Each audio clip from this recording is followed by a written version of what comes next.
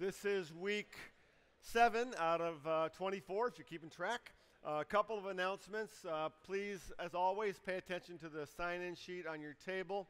Uh, just check the box if you're uh, here, and then uh, correct your email if there's a mistake. If you're new, write your email in so we know you're here. This is how we keep track of everybody, keep information going through emails and stuff like that. And then table leaders take that to the back table at the end of the morning. Appreciate that very much. Remind you as well on your table, there's a little half sheet talks about a service day we're trying to put together. Several of our guys have uh, served at a ministry called Riverwoods Christian Center over the years. Uh, it services uh, disadvantaged youth in our area. A great way just to spend a part of a Saturday morning or Saturday morning, part of the afternoon. Saturday, November 14th, if you can help out there, some basic construction stuff, putting together some bunks and all that. Uh, Lee Norris is heading that up. Uh, his contact information is on this half sheet. You can give part of a day. Appreciate that very much. You'd have a lot of fun doing it with some other team guys. So let them know if you can do it. All right, here's our story for today. This is, uh, uh I think this has probably made the cycle through the years as a team joke. I kind of keep the ones that work, and so this is one of my favorites. Okay. A big city lawyer went dunk, duck hunting in rural Tennessee. He shot and dropped a bird, but it fell into a farmer's field on the other side of a fence. As the lawyer climbed over the fence, an elderly farmer drove up on his tractor and asked him what he was doing.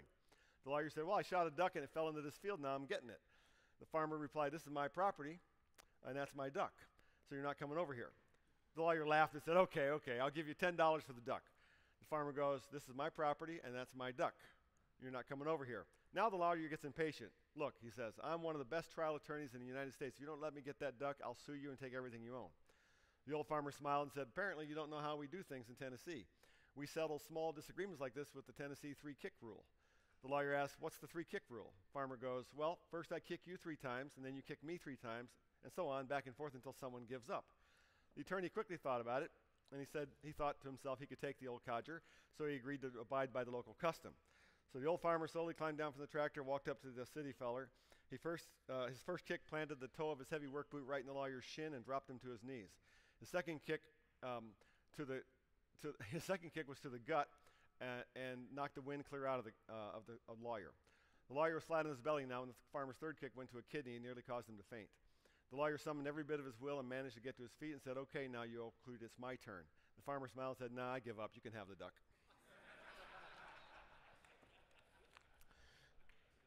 all right. Um, our theme all season has been um, the legacy of a man's life. At the end of the day, the legacy of a man's life. And as I sent you in the little email, I kind of hesitated to use that story of the, of the police officer who took his own life, or, or it appears that he took his own life, because it's so devastating. That story is just so devastating in so many ways. But it reminded me that we see stories around us all the time of legacy. Uh, every man's life leaves a legacy, one way or the other. And we see stories around us all the time in the news, on the sports pages, of legacies left that are extremely rich and legacies that are kind of wasted and ruined by decisions. Sometimes even a single decision. And it's a little bit of a frightening thing, but that's why we're talking about the legacy of man's life. So far, we've talked about, about the legacy of love, legacy of faithfulness, of courage, strength, last week of truth, and today we're looking at the legacy of generosity. And it's kind of going to take a little turn that you may not anticipate, but the legacy of generosity. I'm going to show you a film clip. How many of you have seen the movie Gran Torino with Clint Eastwood? All right, look at those hands go up. Uh, you might be surprised, but I found a couple of clips from that movie that I can actually show you. a little bit of editing. I think we have three weeks in a row of Gran Torino clips um, because I found, I, I, I didn't watch it for a while, but when I finally saw it, I realized um, if you've watched the movie thoughtfully, there, it's got an incredible, um, an incredible emphasis or incredible Christ figure, and it's played by Clint himself at the end of that movie. Um, but I'm not showing that scene. The scene I'm going to show you is the very end. It's the reading of um, Walter's will. Remember the whole story? He, uh, Clint Eastwood's character is a Korean War vet, bitter old man, uh, probably an alcoholic who uh, hates everybody. Uh, he especially hates this young Southeast Asian boy, a Hmong boy, who tries to steal his car, his Gran Torino, uh, as part of a gang initiation. But eventually comes to know this family and becomes a kind of a mentor and, and kind of starts to like this kid and forms a really sweet relationship with him, kind of an odd relationship, but a sweet relationship. And then gives his own life to save his sister and family from these thugs and all that. Anyway, this is the reading of Walt's will, and it's a, it's a, it's a clever way to talk about generosity. So take a look at the screens. Gran Torino.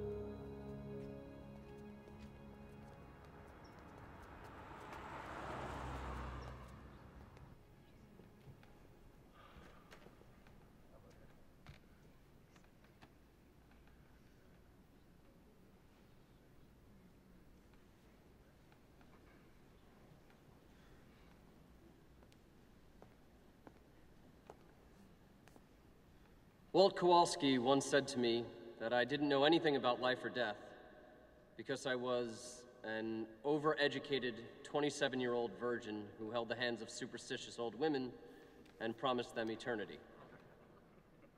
Walt definitely had no problem calling it like he saw it. But he was right. I knew really nothing about life or death until I got to know Walt. And boy, did I learn.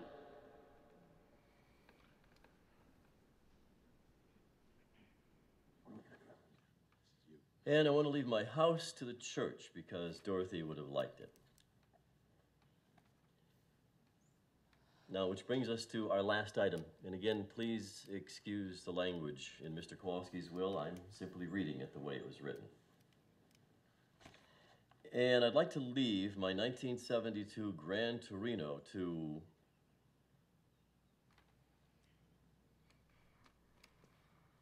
my friend, Thao Vang Lor. On the condition that you don't chop top the roof like one of those beaners. Don't paint any idiotic flames on it like some white trash hillbilly. And don't put a big gay spoiler on the rear end like you see on all the other Zipperheads cars. It just looks like hell. If you can refrain from doing any of that, it's yours.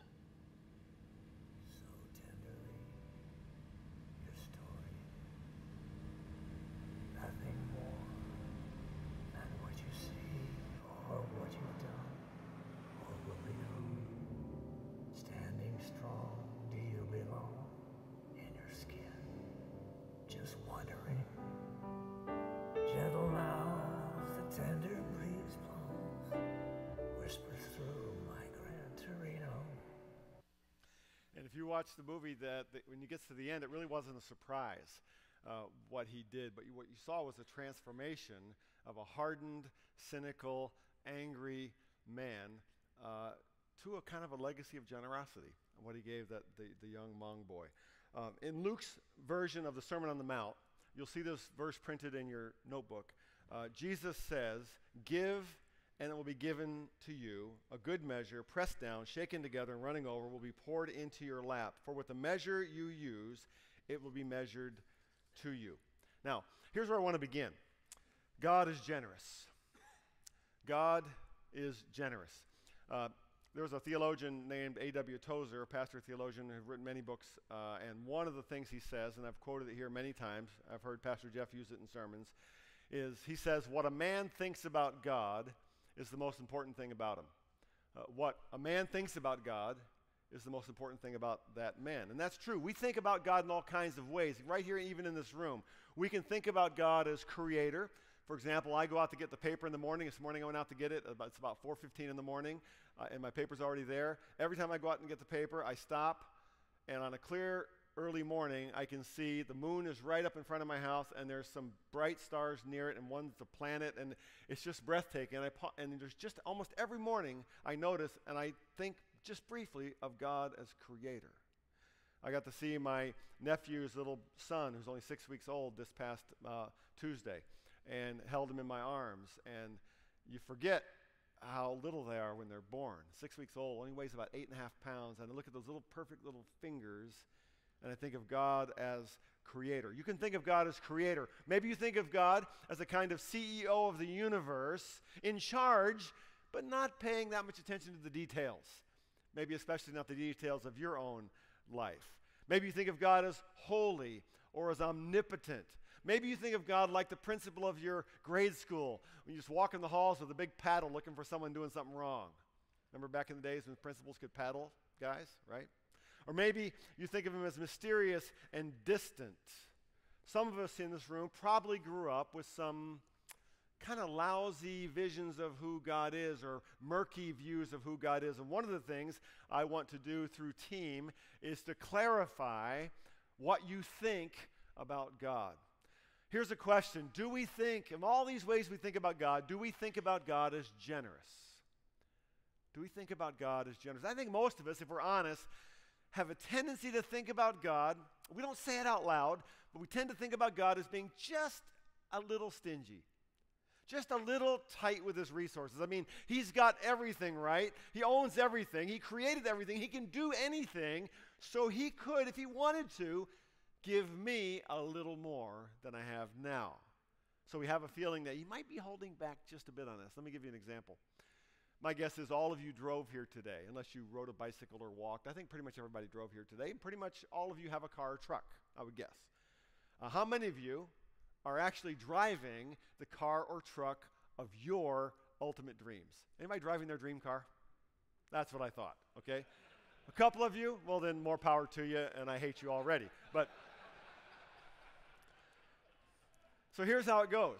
Uh, God, we have a car or truck, you know, I, God gives me a car truck, gives you a car truck. It's got an engine, it's got four pretty good tires, it's got power windows, heat, AC, DVD player. And so we're reasonably grateful to have a working vehicle. Excuse me. Then we stop at a stoplight, just some random day somewhere. We look over to our left, and there's a dude driving our dream car, driving my dream car. For me, it might be a Lexus IS 300, maybe an Audi. And our gratitude, I speak personally, my gratitude can go right out the window. We're like, how come you gave him my car? What's up with that?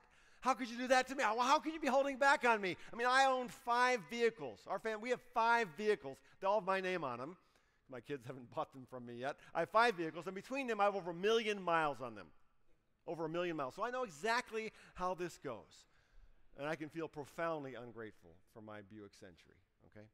The truth is, when I stop to think about it, He's given me those five vehicles. When most of the world doesn't even have one. I have five. When most of the world doesn't have one okay? He's given me everything I have. Leave aside the vehicles. He's given me life. Give me, gives me the world around me, the stars I see in the morning when I pick up my paper. Gives me the capacity to see, hear, taste, touch, smell. Gives me the capacity to love and be loved. I have four healthy sons. I have a wife. People all around me who care about me if I pay attention to that. And that's even before I consider the stuff of my life. Here's what I want to learn to think about God. Here's what I want you to think about God God is the most generous being in the universe. Secondly, the gospel is also generous.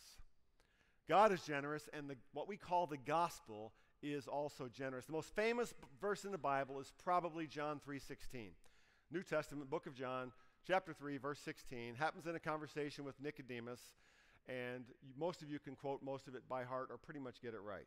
For God so loved the world that he gave his only son that whoever believes in him should not perish but have everlasting life. Key word in there, gave.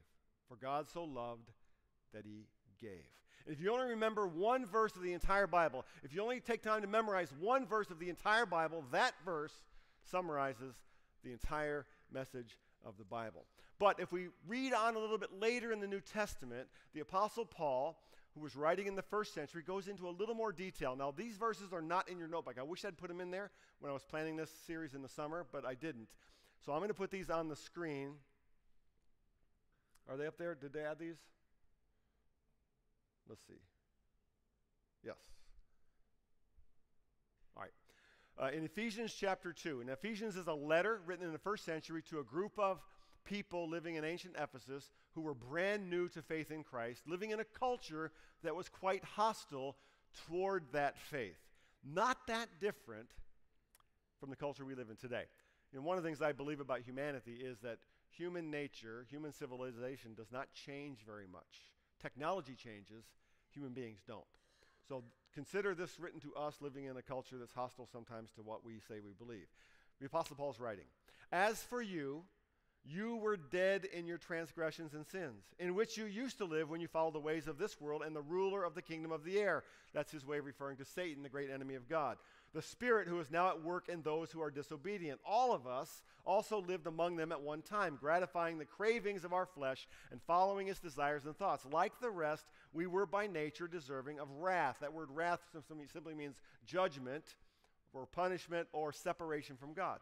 Last week I talked about truth legacy of truth. How the Bible corresponds with the reality I see in the world around me and with the reality I know of the world inside me. The Bible explains to me why things are the way they are and why I am the way I am. And here it is the ruler of the kingdom of the air, the great enemy of God, Satan, is at work in the world. This is how the Bible explains what's wrong with the world. And uh, there, this whole story started in Genesis with Adam and Eve when the serpent entered the garden and said, God didn't really say. He really wanted you to do whatever you want to do. That's where it started. The result is then spiritual death. That is, spiritual death that leads to gratifying the cravings of the flesh. The Bible explains what's wrong with the world and what's wrong with me. That's why we have the whole story of Jesus. That's why we have John 3:16 Jesus wasn't some super nice guy who came to the world wearing sandals, teaching cool stuff about loving your enemies that you can put on the bumper sticker of your car. That's not why he came. Jesus was God's intervention in human history. Paul goes on, verse 4 of that same letter, uh, Ephesians chapter 2. But because, hang on. But because of his great love for us, God, who is rich in mercy, made us alive with Christ even when we were dead in transgressions. It's by grace you have been saved. These verses are summary of the entire story of the Bible. The world's a broken place. We are broken people. We are spiritually dead because of our sins. But God, in his love, made us alive in Christ. The question is, how? And many of you know this, but let me reiterate. Paul continues Verse 8 For it is by grace you have been saved through faith. This is not from yourselves, it is the gift of God. It is not by works, so no one can boast. For we are God's handiwork, created in Christ Jesus to do good works, which God prepared in advance for us to do. Now, let me explain the gospel. Many of you know this, but for some of you, this might be clearer than you've ever heard it before. The gospel, the center of the Bible, is not about religion. The gospel is not about religion. It's not about a list of rules that we try to follow as best we can so that we're acceptable to God, so that we become better people. Jesus didn't come to start a new religion, He came to make spiritually dead people spiritually alive people through relationship with God. Now, let me explain as clear as I can what it means to be a Christian. You don't become a Christian by being born into a Christian family. It's not what the Bible teaches. You don't become a Christian by being born in a Christian nation. That's not what the Bible teaches. You don't become a Christian by going to church. It's not what the Bible teaches. Or by being a pretty good person, or by managing not to kill somebody in your life. You ask the average person on the street, "Would you think you're going to heaven?" Well, yeah, I haven't killed anybody. That's not, the, that's not where the bar is set.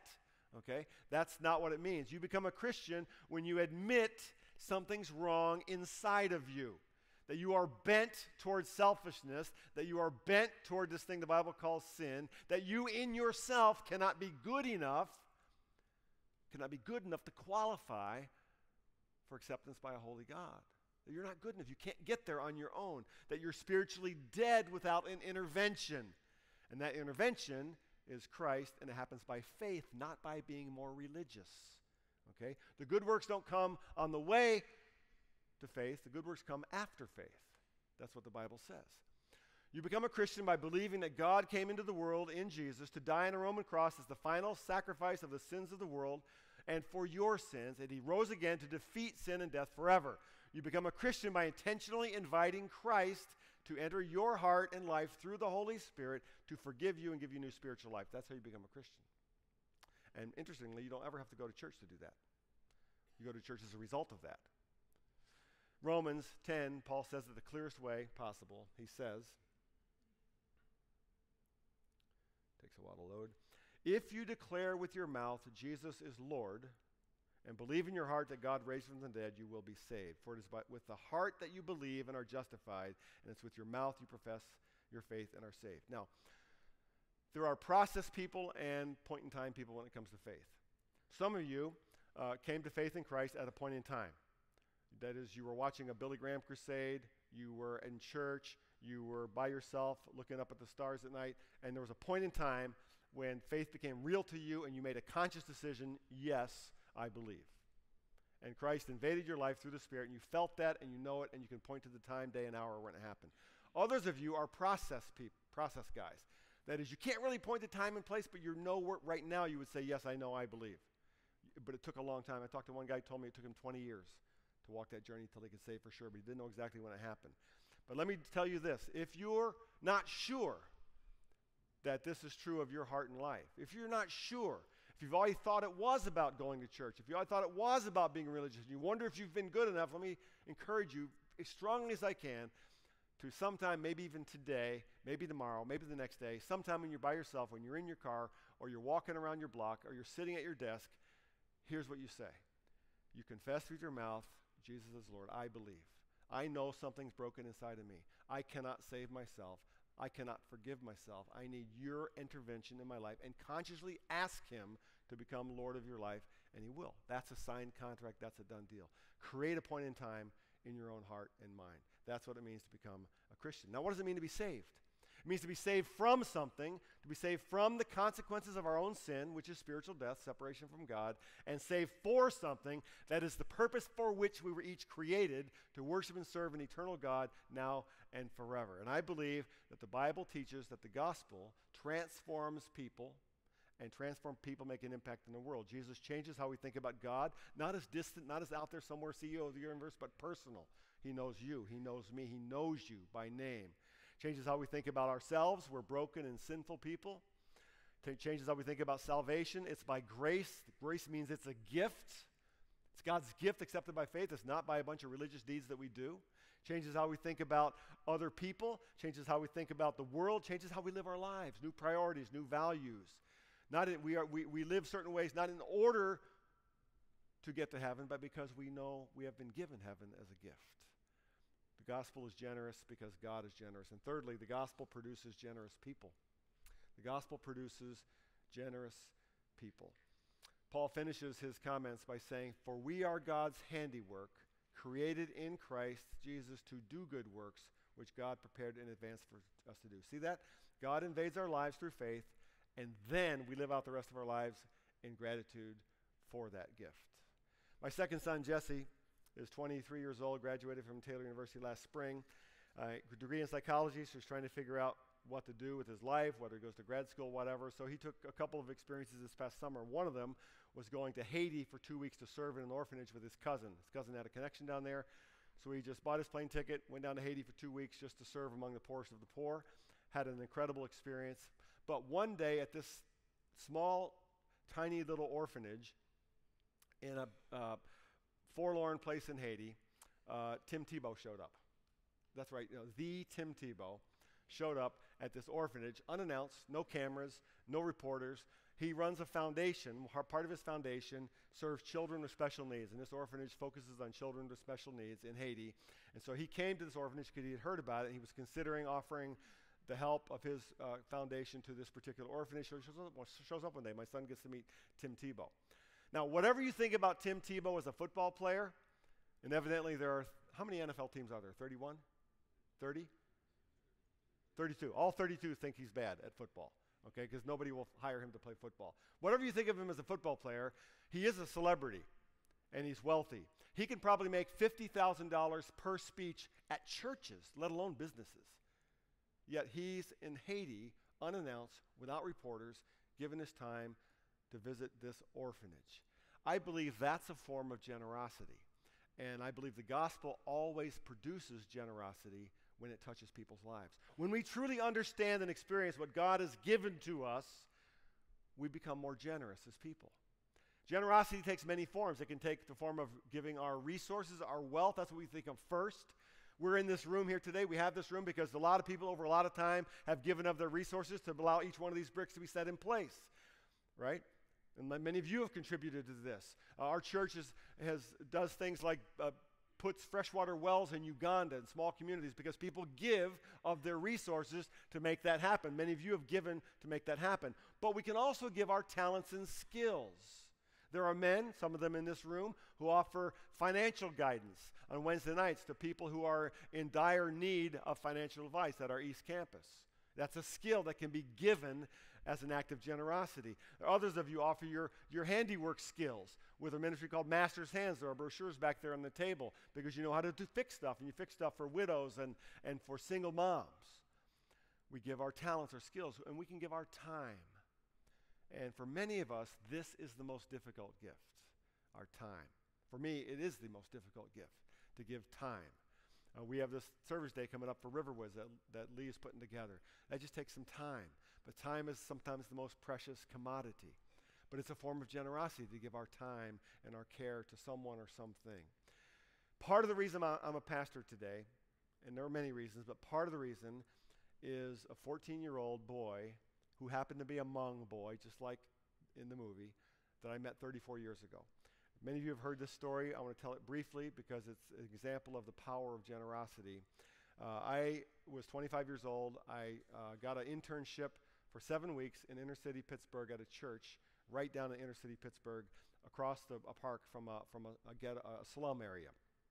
And the pastor there uh, signed me. Uh, he said he didn't really know what to do with me, so he said, Why don't you uh, spend the seven weeks, get to know the, the Hmong community that's right across the, the city park. They've all come to this country as refugees. They have lots of kids. Maybe you can do something with the kids. So I spent seven weeks trying to do something. I knew nothing about ministry really, other than what I learned from my father growing up in the church. I tried to get to know these Hmong kids. There was a group of about 15 of them. So I got to know them. Uh, and one of the things I noticed early on in that seven weeks, maybe the first week I was there, I lived in a little apartment upstairs in the church, and I could look out my window at about 11 o'clock at night, and I would see uh, lights bobbing up and down in the city park right across the street from the church. It looked like giant fireflies. Six, eight, ten of them, just lights bobbing up and down. I, I kept, what is, what's, what's with the, they're too big to be fireflies. What's going on in the park? It's 11 or 12 at night. So finally, one night, I, uh, early on, I got out of my, I left. I was a little bit nervous by going into the park at night because this was kind of a dangerous area. I walked out there, and what I found was it was the Hmong women and children with flashlights, and they were digging up night crawlers, worms, because they had discovered that they could sell night crawlers at the wharf, at the fishing wharfs down at the three, at the three rivers in Pittsburgh, and fishermen would buy them for $7 for a gallon jug. Okay? So they're filling up gallon jugs with night crawlers for seven bucks per. I don't know how long it took to fill one jar of night crawlers. That's what they were doing. So I got to know these kids. One of the boys I got to know was a kid named Neng. He was 14 years old. And Neng was a problem. He was angry. He was he he didn't he English was rough and he was he cursed all the time. He was needed attention. Uh, he was just really rough to have around, but he always came around. He was disruptive, um, and I, I, I, I didn't like when he came around. But by about the second or third week, I realized he was going to come around, so I tried to get to know him better. So I started taking him off uh, on his own and, and just, just trying to get to know the kid. Eventually, eventually, he trusted me enough to tell me part of his story. And his story was he and his family escaped um, the genocide happening in Southeast Asia with the Hmong people under the Khmer Rouge, had to swim across the Mekong River when he was 12 years old. Uh, he saw his father killed in the front yard of his house. He and his siblings and his mother swam across the river when it was three miles wide. He finished. He was coughing up blood. They were shooting at him in the river. And I kept thinking, when I was 12 years old, I played Little League Baseball. So I started to understand a little bit about Neng and why he was the way he was. And we started to forge a little bit of a relationship, and he started to calm down. By the fifth week or so, he was okay to have around, and we had this little friendship. So seven weeks went by, and I needed to go back to my life, back to school, back to my uh, whatever I was doing next. And uh, so we had a little going away party, took the kids out for ice cream, and we came back to, my, to the church. And we're all saying our goodbyes, and the kids all left, and I went up the pack to go on with my life. Well, about half an hour, 45 minutes later, I hear somebody shouting at me from the, from the sidewalk out in front of the church Brian, Brian! I look out, and it's Neng on his little Stingray bike, head, head on backwards, motioning for me to come down. So I went downstairs. I don't know what he wanted. And he said to me, real quick, he said, he took an envelope out of his back pocket, all folded up, and he said, This for you. Maybe you buy some food. And he jumped on his bike and he rode away. And I stood there for a long time, and I was afraid to open the envelope because I thought I knew what was inside. I opened it up, and there was a $10 bill in there. And I knew what it cost him to get that $10. He dug worms every night. And what hit me was I gave a little bit of time. Then I went on with my life. I gave a little bit of time. He gave me a gift that changed my life. And it was all because of generosity. I think that's the power of generosity. That's the legacy of generosity. Here's three questions I want you to talk about around your tables today. First, do you tend personally to think of God as being generous or as slightly stingy with his resources? Just, just be honest. Do you think of him as being slightly stingy, like I talked about? Maybe not. Maybe you do. Secondly, who's the most generous person you know? Don't just think of money, think of time, think of attitude, think of gifts. Who's the most generous spirited person you know? And third, in what area of your life would you like to become more generous? Is there an area of your life you think, you know, in that area, I do tend to be a little close fisted? Where would you like to be more generous? Talk about it, grab some coffee, wrap you up right before 7 o'clock.